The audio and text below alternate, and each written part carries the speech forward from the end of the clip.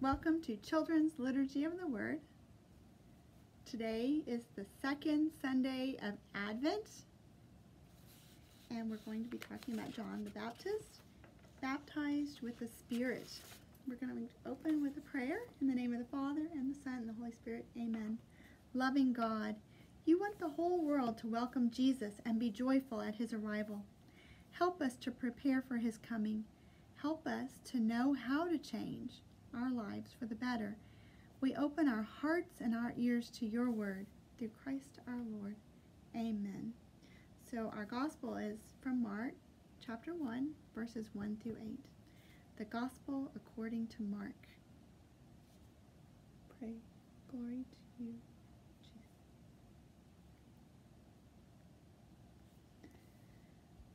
The beginning of the gospel of Jesus Christ, the Son of God as it is written in Isaiah the prophet, Behold, I am sending my messenger ahead of you. He will prepare your way, a voice of one crying out in the desert. Prepare the way of the Lord, make straight his paths. John the Baptist appeared in the desert, proclaiming a baptism of repentance for the forgiveness of sins. People of the whole Judean countryside and all of the inhabitants of Jerusalem were going out to him and were being baptized by him in the Jordan River as they acknowledged their sins. John was clothed in camel's hair with a leather belt around his waist. He fed on locusts and wild honey, and this is what he proclaimed One mightier than I is coming after me. I am not worthy to stoop and loosen the thongs of his sandals. I have baptized you with water. He will baptize you with the Holy Spirit. I think it is always exciting to start a new book. I like to look at the book and the cover, and the picture if there's one on the front, and think about what the story will be about. about. I like to read the first few pages and get introduced to some of the characters, and I like to think about the story and if it's happy or sad or maybe a mystery or um, you know what it'll be like. I sometimes think about you know if I'd like to be the characters in the book, maybe more like them if they're interesting or unusual or brave.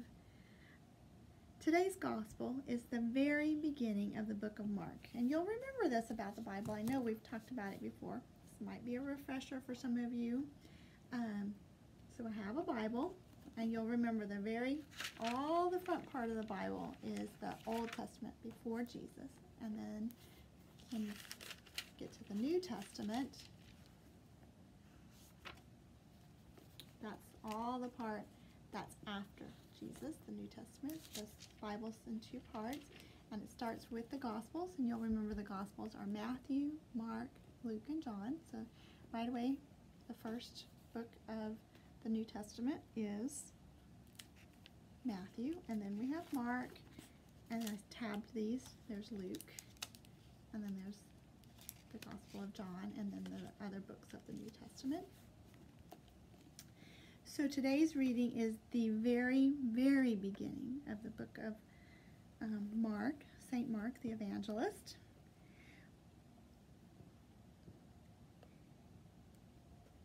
He tells us in the very first sentence, it's kind of written like a title. You can see here at the very beginning when he writes this, it's almost like the title of his book the beginning of it.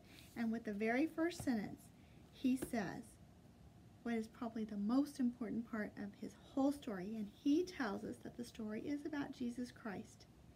And then he tells us that Jesus is the Son of God. Right there in the very first sentence. Mark fills his gospel with many things about Jesus' life that will help us believe in Jesus and to help us to believe that Jesus is the Son of God. And then in the very next line, Jesus introduces us to another character in the story, and that's John the Baptist. So close your eyes for a minute. Imagine, as I'm describing to you, John the Baptism, Baptist is in the middle of a great desert near the Jordan River. He is wearing the skin of a camel and he has a leather belt around his waist. Not a belt with a shiny buckle. His belt was probably made from the skin of an animal, and he ate only the food he found in the desert locusts and wild honey. He shouts that we all need to repent and ask for forgiveness of our sins. He says he is just a herald to the more powerful one coming after him. Now open your eyes. All right, so a very vivid description of John the Baptist. So I imagine you were pretty much able to imagine this kind of man who lives out in the desert. Probably his hair is pretty wild. And I don't know if you've ever touched a camel, maybe at a, a fair or something. Their hair is not soft, it's very coarse. And so um, it's kind of amazing to think that this this man wearing this camel skin um, out in the middle of the desert has such an important role in the story of our faith. He is Jesus' cousin. You'll remember when Mary was pregnant with Jesus, she went to visit his mother, Elizabeth. So um, John's parents are Zachariah and Elizabeth, and John is the one who tells the people to get ready to meet the Messiah, our Savior. He called for the people to be sorry for their things that they had done wrong and to try to live better lives. People wanted to give a sign to others that they were willing to do this, that they were willing to change and become better people, and that they were serious about changing. And so John's baptism, that he was baptizing people right there in the Jordan River, just have you ever been to a river or a lake? You know, it's just um, dirt at the bottom. Imagine that, not like a swimming pool and not like our beautiful baptismal font that we have here. Um, John invited them to go into the waters of the Jordan River, and there he baptized them, right there in the river. And these people were serious about their change, and although it was very different than the way we're baptized, the sign that we're making when we're being baptized is the same that we want to be children of God. And John knew that he was doing something very, very important, but he also knew that he was only preparing the way for someone much greater than himself. He was preparing the way for Jesus Christ.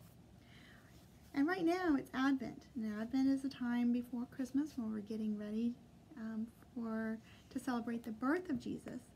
It's a time also of preparation of um, getting our hearts ready. And that's why we're reminded today in John the Baptist's words of getting our hearts ready is so important today. Everyone has something that he or she is sorry for and wants to change. So I want us all to take a minute right now and think about something we need to change. And we want to work on that during Advent. And this is one way that we can prepare our hearts for Jesus.